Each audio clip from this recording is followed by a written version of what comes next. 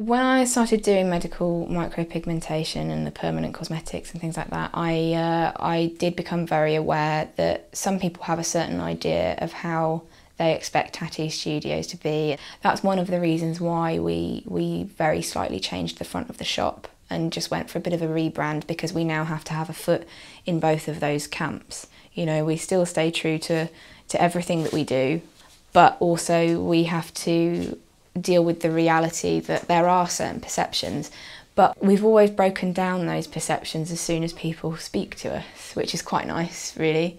What I tend to do when people get in touch is I'm very upfront about where we are. I don't make any sort of illusions that we're anything that we're not.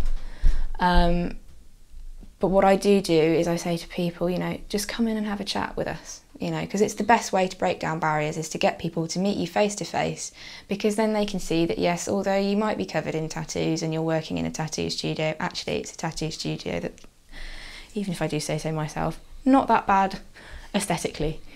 Um, and as generally, as soon as people start to talk to me, they then start to understand that actually I do know what I'm talking about you know, I'm I'm not all well. You know, you either want it done or you don't. Get in the chair, and I find that's the easiest and best way to put people at their ease.